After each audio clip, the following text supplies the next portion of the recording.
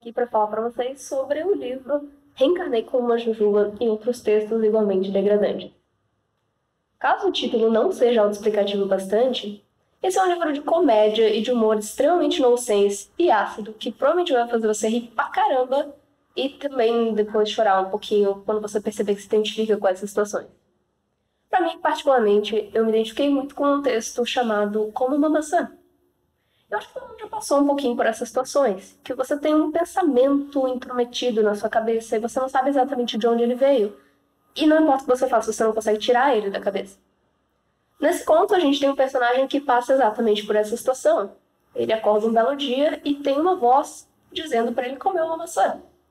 Então a gente assiste essa espiral de loucura dessa pobre pessoa ao longo do conto inteiro, tentando descobrir de onde vem essa voz e que droga de maçã é essa e o que fazer para parar esse pensamento intrometido.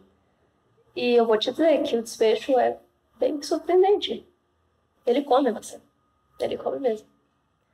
Então vai lá, vai no Catarse, procure por Jujuba, reencanei como Jujuba e um para os textos igualmente degradantes Vai lá apoiar o Doug, o trabalho dele é sensacional, eu tenho certeza de que você vai rir e talvez chorar um pouquinho da desgraça alheia com esse livro. E não esquece.